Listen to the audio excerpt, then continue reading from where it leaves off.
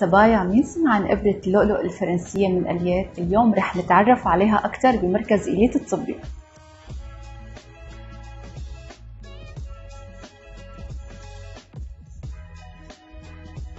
دكتورة بصراحة بعد كل هذا الشرح أنا حبيت أعمل الجلسة وحابة نعملها هلأ في مجال؟ متحمسة كتير كتير للموضوع. صبايا أنا قررت أعمل الجلسة هلأ وأنتم كمان لازم تعملوها لعدة أسباب، الدكتورة بعد ما شرحت لي قد إيه فيها مكونات نحن بحاجة لها، أول شيء بتحفز الكولاجين ببشرتنا، بتصغر عنا مسام البشرة، مكافحة للشيخوخة، وكمان بتزيد لنا خطوط اللي بتظهر عنا على الرقبة وبتزيد من حيوية ونضارة البشرة، وعلى فكرة هي بتصير للشباب والبنات.